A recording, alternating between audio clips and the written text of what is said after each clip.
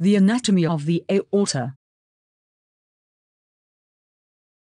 The aorta emerges from the left ventricle at the lower border of the third costal cartilage behind the sternum, slightly to the left.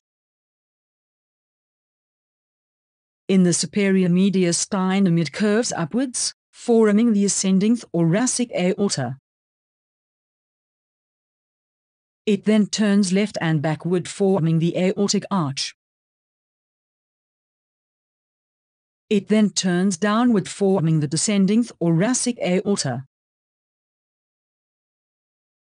The descending thoracic aorta passes through the thorax on the vertebral column, giving various branches in the mediastinum. It passes through the aortic hiatus in the diaphragm at T12 to become the abdominal aorta.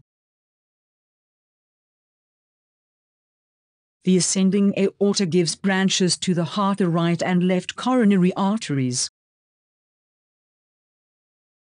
The outer convexity of the aortic arch gives three branches, brachiocephalic, which is short and quickly divides into the right common carotid and right subclavian. Left common carotid and the left subclavian.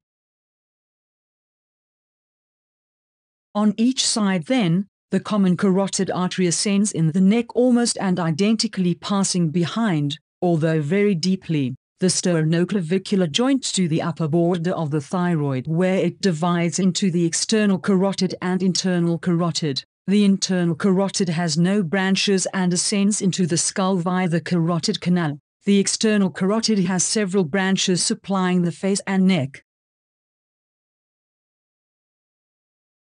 The abdominal aorta continues the journey on the vertebral column, slightly to the left, giving some pairs of small posterior lumbar arteries, and then bifurcates into the right and left common iliac arteries, and a small median sacral artery at L4, approximately the level of the umbilicus.